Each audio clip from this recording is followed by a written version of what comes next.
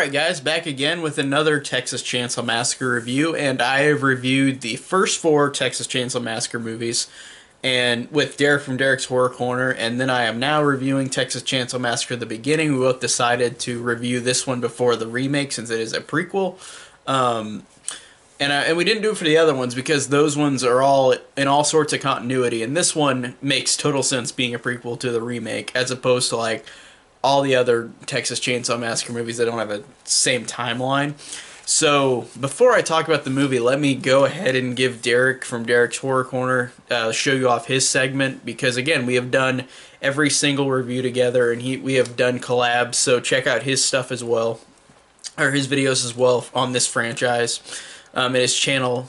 And so I'm just gonna let Derek go ahead, and after that I will see you guys after Derek talks.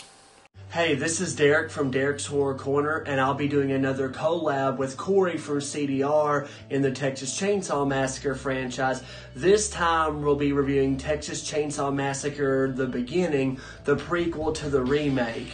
I feel that this is a very highly underrated Texas Chainsaw Massacre uh, movie, and trigger warning, I think it's my favorite one in the franchise, more than the original, more than the remake, more than any of the other movies. This movie is spot on excellent. So when you look at the story, it takes everything the original or the remake did and did it better. You have this group of characters trying to dodge the Vietnam War. You got like the brother brother relationship. You got like the two couples. I think the the leading couple, the guy and the girl, the final girl and her boyfriend have good chemistry. So I think the acting is really awesome from them.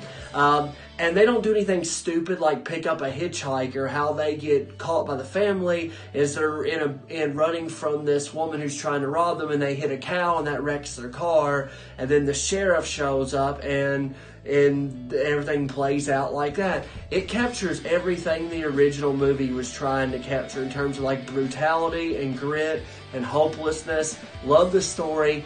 I kind of already mentioned this about the characters. I love all the characters in this movie.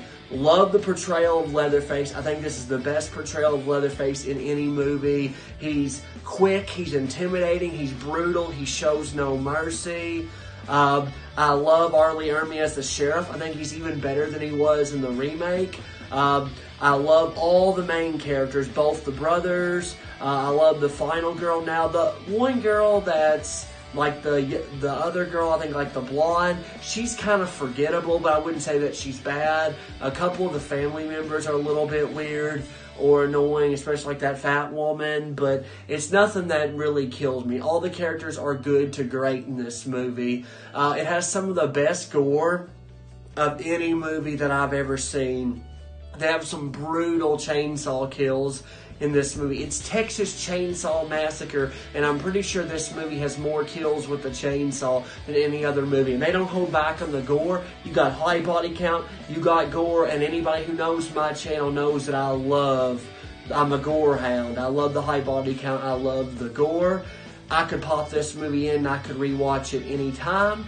Uh, the one negative I could see people maybe having, and this is not a negative for me, is the ending's very dark and depressing, and you kind of know how it's going to end going in because it's a prequel, so you know that nobody can get away or the family gets busted, so you pretty much know everybody's going to die from the start. But that isn't really a negative for me. Like I just love the uh, the dark negative ending. So like I said, this is like a perfect movie for me. I can't really find any flaws, and I don't understand the hate that it gets. Because to me, this is one of the best slasher movies that I've ever seen, and the best Texas Chainsaw Massacre movie. Again, Cory, thanks for letting me collab with you on this review. Come on over to my channel, Derek's Horror Corner, and check out my review for Texas Chainsaw Massacre: The Beginning. Thank you. Um, thank you so much, Derek. Now.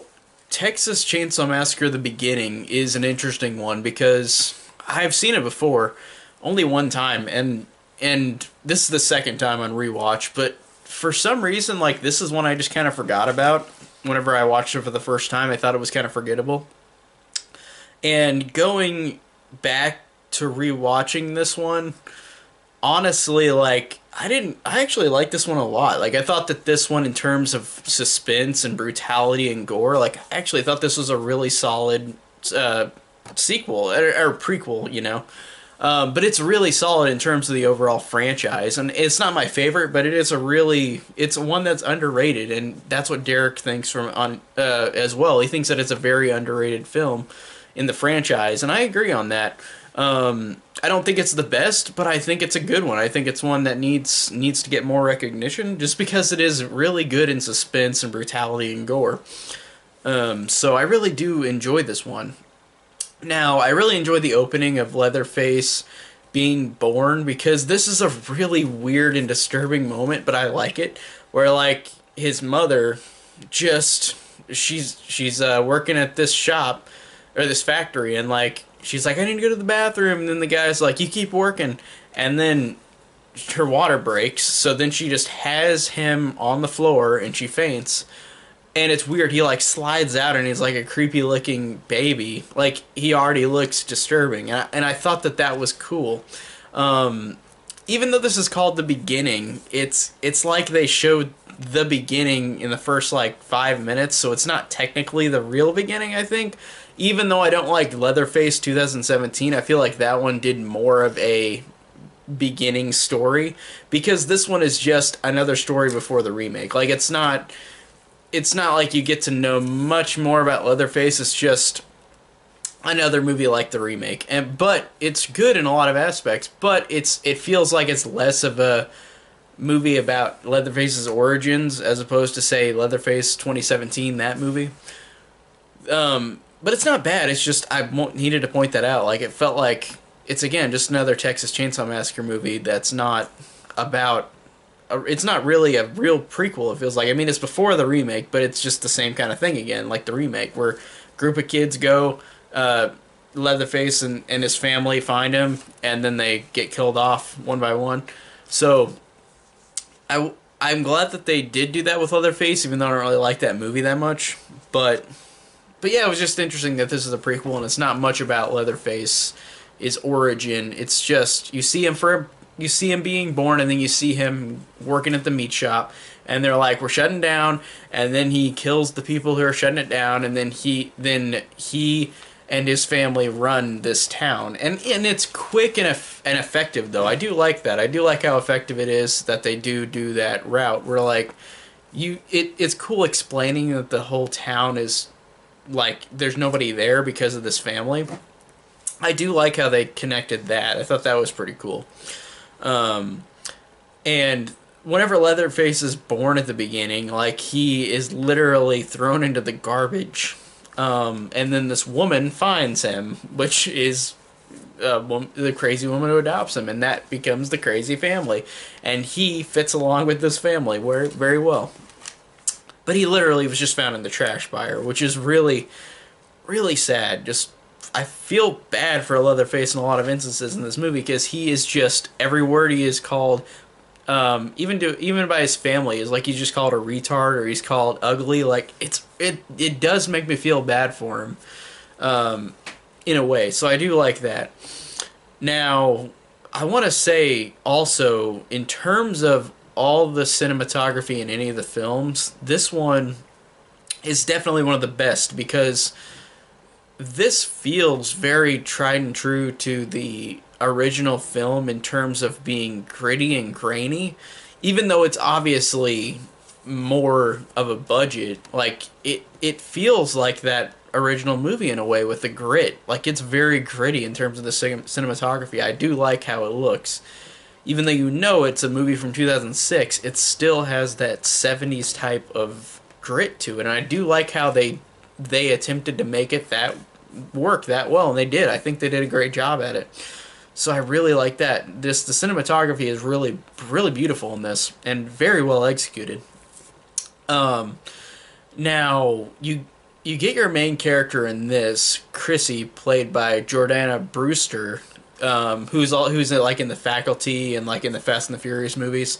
Um, she's the main star in this, and it's funny because I can't help but point out that Michael Bay is involved with this one and the remake, and he picks like like it's just it's just funny how these these actresses are good. I do like Jessica Biel and Jordana Brewster a lot, but it's just funny that I feel like they were put in here just because of their looks, and Michael Bay is just one of those people that that is like that. Like the Transformers movies, like you had all these supermodels that like it's it's just a thing that like like yeah, they're really beautiful, but it's funny that whenever you see Michael Bay involved, like you're like, "Oh, that was his immediate like thing he wanted to take care of first is let's find the girl who's the cutest looking overall." And you can just tell, like with Jessica Biel, obviously, and as well from the remake. So it's just a funny thing to notice that.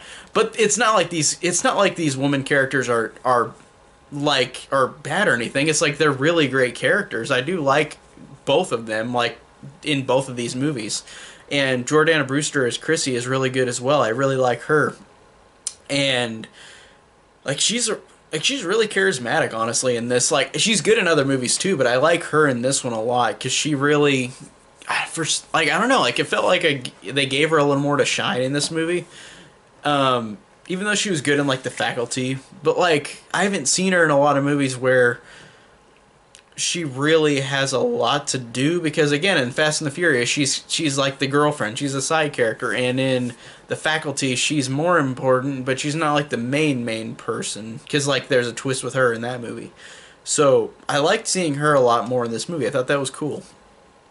Um, and again I want to mention I like how the town is deserted because of Leatherface and because of his family and this them being there makes the town go away. Like everybody goes away in the town or they're killed, and it drives off resources and everybody leaves, so it's secluded.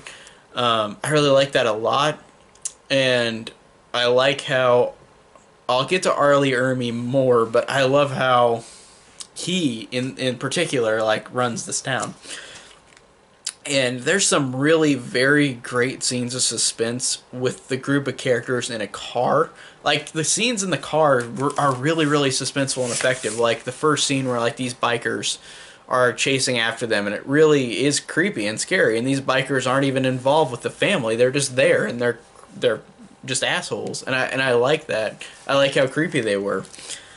So and then you realize that they're not the big they're not the big uh, problem here because whenever you see Arlie Lee Ermey come up, who has killed the last officer in town, becomes the main police officer because he wanted to.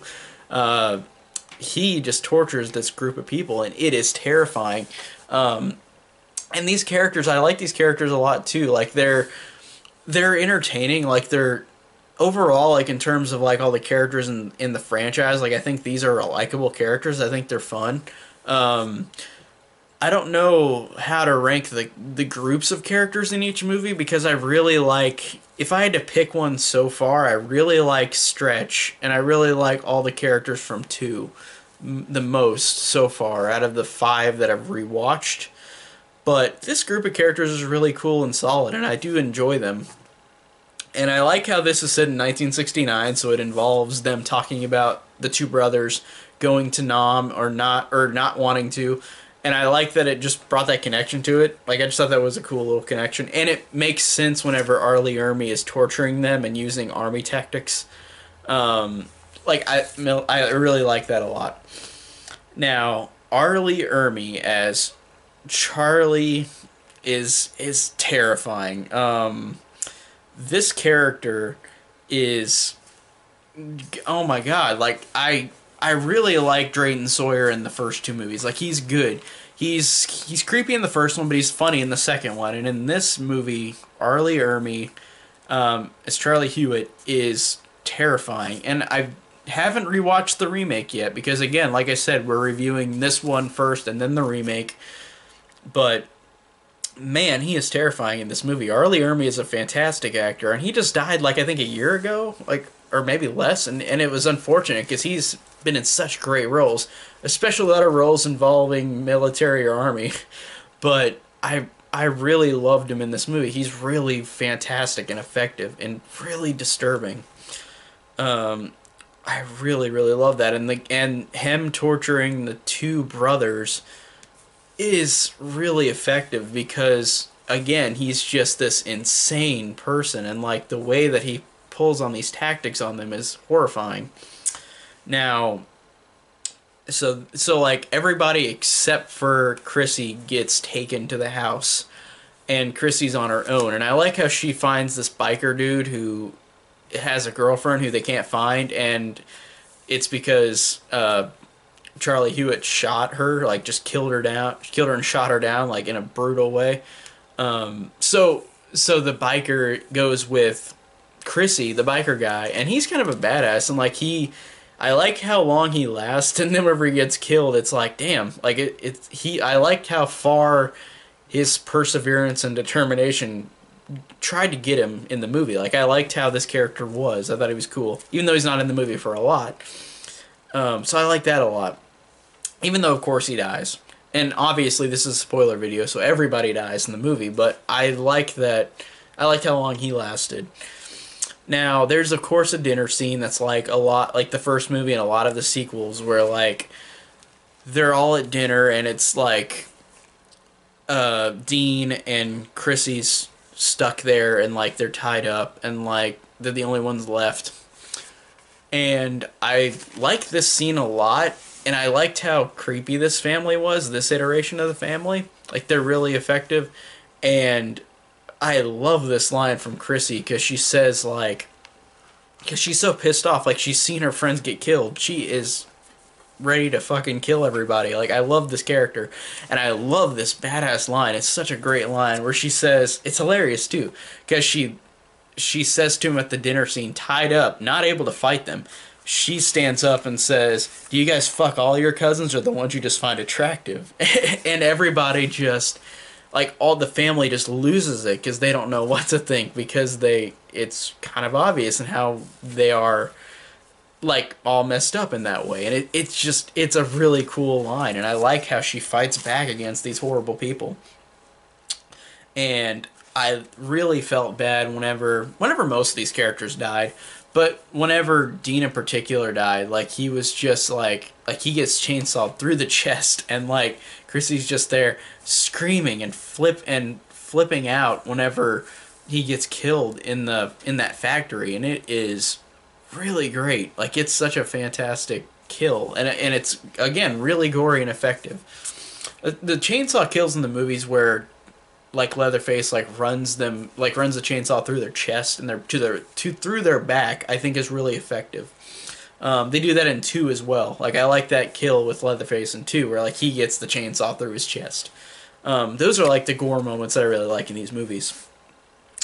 Now the final like ten minutes of the movie are great because you've got the factory chase with Chrissy and Dean, and then Dean gets killed, and then we get like it really feels like Chrissy would have made it out alive. Like she would have made it out but again, this is a prequel, and usually, for the most part, prequels will have to kill off every character because they can't have this character under the authorities unless like they go crazy or something. But like you, it, they didn't have it go this way, and I did like how this had a really dire, dark ending where like Chrissy's driving away, and then they have a great Leatherface scare, which again, most of these movies have a really great moment where Leatherface pops out. In this one, she's in the car and he just pops out from behind her and he chainsaws her through the chest, through the seat, up through her chest and like kills her. And it is such a sad moment because I really did love her character. Like I really liked her a lot. And damn, it was just a really like it's a moment where I hated it, but in a way where I loved it because it's like you you got rid of the character I loved. That gave me that much of an emotion to care. Like I did like how these characters were interesting and fun. So whenever she was gone, it was just such a moment where I was mad. But like I like how this movie made me feel that way. And then of course he just walks away, and like I like how they have that narration from like how the Texas Chainsaw Massacre movies have the intro narration. Um, and it just is talking about how like what they say in like the first movie, like it's the Texas Chainsaw Massacre. It's the this group of fam- this group uh, family group is killing off these people in this location in Texas. And I did like that how they just said it without the without the text crawl. It was just like Leatherface walking away, and it says the Texas Chainsaw Massacre, and then it ends. So it plays perfectly right into the remake. So that's a really great ending. And I and overall, like this one, just in terms of brutality and in terms of suspense, like this really is well done. And in terms of, I don't want to spoil how I rank these movies, but in terms of the five I've seen so far, this one might be number three overall because I love the first two.